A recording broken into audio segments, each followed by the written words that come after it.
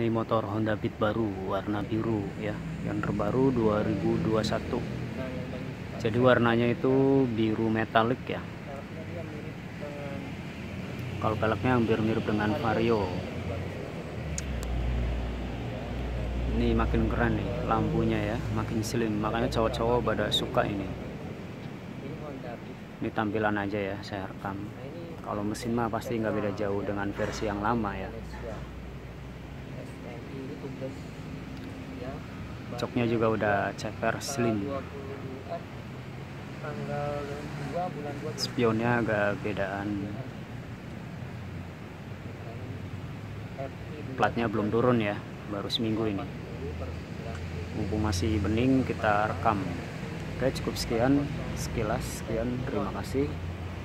Sampai jumpa di video selanjutnya nih penampilan aslinya kayak begini